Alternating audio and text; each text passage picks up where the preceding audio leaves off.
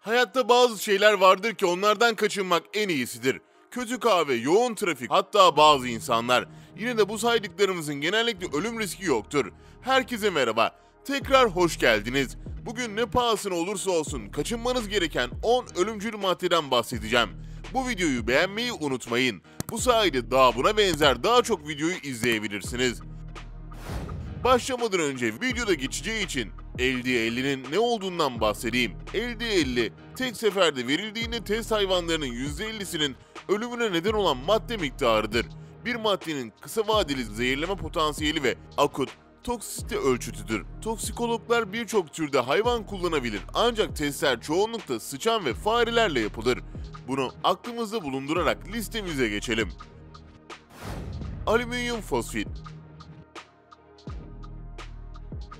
Alüminyum fosfit, hidroliz ve oksidasyondan kaynaklanan safsızlıklar nedeniyle genellikle gri, yeşil, sarı bir toz olarak satılan renksiz bir katıdır. Alüminyum fosfit zehirlenmesi özellikle Asya'da metal zehirlenmesine bağlı ölüm ve sağlık sorunlarının önemli nedenlerinden biridir. Pestisitlerde yaygın olarak bulunan bu maddeye maruz kalmak ölümcül olabilir. Yutulması halinde midedeki hidroklorik asit sebebiyle fosfit gazı açığa çıkarır. Bu gaz gastrointestinal sistem boyunca hızlı emilir ve ciddi kardiyak eritmeler, inatçı şok ve pulmoner ödem belirtileriyle kalp, akciğer, böbrek ve karaciğerde toksik etkilere yol açar. Ayrıca kalp kası iltihabının nihayetinde ölüme yol açabilir.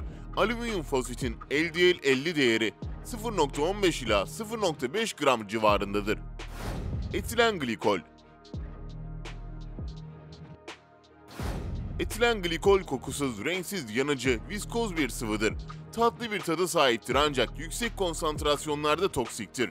Bu kimyasal size antifriz olarak tanıdık gelebilir ya da kış aylarında makinenin düzgün çalışması için gereken sıvıların donmasını önlemek için motorlu araçlarına koyulduğunu biliyor olabilirsiniz. Arabalar için iyidir ama vücudumuz için kötüdür. Vücudumuza girerse glikolik aside dönüşür. Oradan merkezi sinir sistemimize saldırır ve vücudumuzun pH dengesini bozar. Toksik yan ürünleriyle beraber önce merkezi sinir sistemini, ardından kalbi ve son olarak da böbrekleri etkiler. Tüm bunlar sonuçta tüm canlı hücreleri öldüren sitotoksik etkiye yol açar. Tedavi edilmezse yeterli miktarda yutulması ölümcüldür. Polyester elyaf üretiminde ve antifriz formülasyonlarında olmak üzere başlıca iki amaç için kullanılır. Batrakotoksin İlk olarak 1960'larda tanımlanan batrakotoksin, Güney Amerika'ya özgü bazı kurbağaların derisinde bulunan bir zehirdir. İnsanoğlunun bildiği en güçlü zehirlerden biridir. Ölümcül olması için kilogram başına sadece 2 mikrogram gerekir. Bu da yetişkin bir insanın birkaç tuz tanesi kadarlık bir dozla öldürülebileceği anlamına gelir. Bir nörotoksindir. Yani nöronların birbirlerine elektrik mesajları göndermesini engelleyerek etkisini gösterir. Felci ve sonunda ölüme neden olur. Zehir kan dolaşımınıza girerse muhtemelen 10 dakikadan kısa sürede ölürsünüz. Yani hızlı çalışır. Bazı böcek türlerinde, kuşlarda ve kurbağalarda bulunabilir ve şu anda panzehiri yoktur. Bu yüzden uzak durun. VX VX motor yağı kıvamında bir sinir ajanıdır. 1950'li yılların başlarında ISI'nin yeni böcek ilaçları üzerine yaptığı araştırmalardan ortaya çıkmış ve tarımda kullanılamayacak kadar zehirli olduğu kanıtlanmıştır. VX, hücreler arasındaki sinir masajlarının iletimine müdahale ederek öldürür. Bunun için asetilkolin adı verilen bir molekül gerekir. Asetilkolin mesajını ilettikten sonra parçalanması gerekir. Aksi takdirde asetilkolin nesteraz adı verilen bir enzim katalizörü tarafından mesaj göndermeye devam eder. VX bu enzimin çalışmasını durdurur.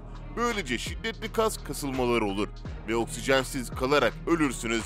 Sinir ajanları soğuk savaş sırasında her iki tarafça da üretildi. Ancak VX özellikle Hollywood'un gişe rekorları kıran filmi Drak'ta yer aldıktan sonra tanındı. Yalnızca bir kişinin Aum Shirikyo tarikatının eski bir üyesinin VX ile öldürüldüğü biliniyor. Ancak 1968'de Utah School Ballet'de meydana gelen bir kazada yaklaşık 4000 koyun da öldü. Kilogram başına 3 kilogram kadar düşük bir LDL 50 değerine sahiptir. Ancak bazı raporlar bu rakamın biraz daha yüksek olduğunu göstermektedir. Dimetil civar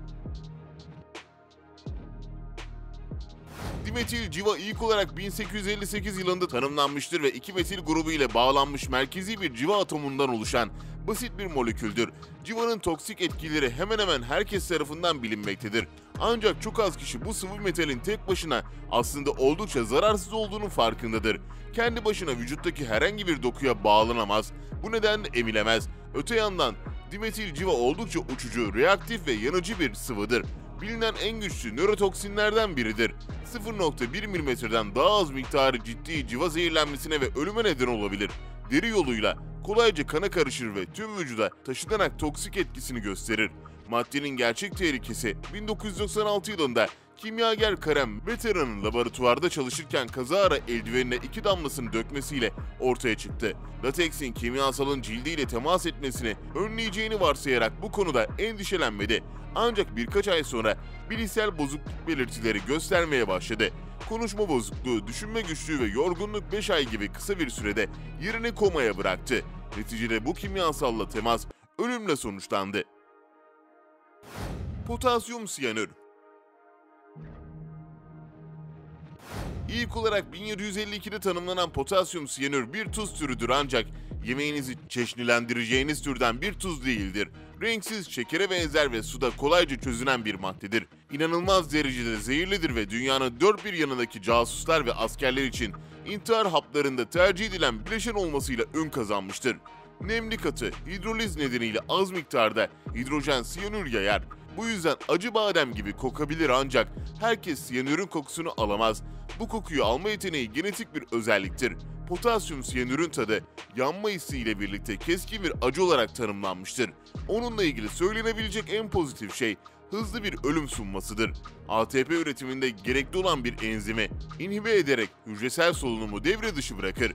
ATP vücudun birincil enerji birimidir ve iyi yaşamanın anahtarı bundan olabildiğince üretmektir. Potasyum siyanürün tüketilmesinden sonraki birkaç dakika içinde kurbanlar bilinçlerini kaybeder ve beyin ölümü gerçekleşir.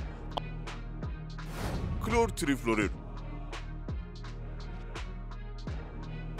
En maddesi olarak da bilinen flor triflorür, İkinci Dünya Savaşı sırasında Alman bilim insanları tarafından keşfedilmiştir. Alman tarafı başlangıçta askerlerinin bunu sokak sığınaklarını eritmek için kullanmasını onayladı. Ancak yıllarca süren araştırmalardan sonra maddenin çok dengesiz olduğuna kanaat getirdiler. Evet düşünün ki Almanlar için bile fazla tarif ediciydi. Renksiz, zehirli, aşındırıcı ve son derece reaktif olan gaz çoğunlukla satıldığı form olan soluk yeşilimsi sarı bir sıvıya dönüşür. Son derece uçucudur ve hemen hemen her şeyle reaksiyonun sonucu patlayıcı olur. Cam, kum, pas ve tabii ki insanları ateşe verdiği bilinir. Hatta var olan en yaygın izolasyon maddelerden biri olan asbestin bile alev almasına bile neden olabilir. Amerika Birleşik Devletleri kısa bir süreliğine şansını denemeye karar verdi. Bir tonunu özel bir tankerle tanıtmaya kalktı. Bunun korkunç bir fikir olduğu ortaya çıktı. Çünkü tanker kaza yaptı ve madde deponun beton zeminine dökülerek depoyu ateşe verdi. Altındaki birkaç metrelik toprak ve çakılla birlikte betonun tamamen delip geçti. Bu kimyasal yarı iletken endüstrisinde plazma temizleme ve aşındırma işlemlerinde, roket yakıtlarında, diğer endüstriyel işlemlerde ve nükleer reaktör yakıtı işlemede kullanılır.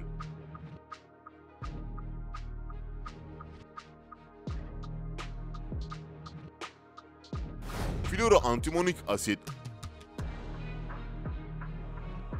Floroantimonik asit dünyadaki en güçlü asittir. Hiç sülfürik asit diye bir şey duydunuz mu? Ondan yaklaşık 10 katrilyon kat daha güçlü. Bileşik plastikleri ve camı yiyebilir. Etinizi kemiklerinize kadar eritebilir ve iştah hala doymayabilir. Depolanabilmesinin tek yolu aşındırıcı etkilerine karşı dayanıklı olan teflon kaplarda saklanmasıdır. Bilim insanları inceleme yaparken binlerce kat seyretmedikleri sürece normal bir cam beyer bile kullanamaz. Bu asit ayrıca suyla şiddetli reaksiyona girer. Bu nedenle yutulması veya solunması halinde ölümcüldür ve ciltle temas etmesi halinde ciddi yanıklara neden olabilir. Bu asit bir süper asit olarak kabul edilir. Bu yüzden uzak durmalısınız. Dimetil kadmiyum Dimetil kadmiyum birçok kimyager tarafından insanoğlunun bildiği en toksik kimyasal olarak kabul edilir. Buharlaşan renksiz, yüksek toksik bir sıvıdır. Kadmiyum civadan daha hafif olduğu için organik bileşik daha uçucudur. Anında kan dolaşımına karışır ve kalp ve akciğerlerde dahil olmak üzere en fazla kana ihtiyaç duyan organları parçalara ayırır. Eğer bir mucize eseri kişi ilk maruziyetten kurtulmayı başarırsa tehlike kesinlikle sona ermemiştir. Dimetilikalsiyum yüksek derecede kanserojendir. Yani kansere neden olur.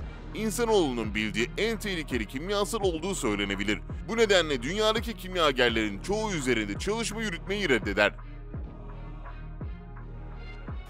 Botulinum toksini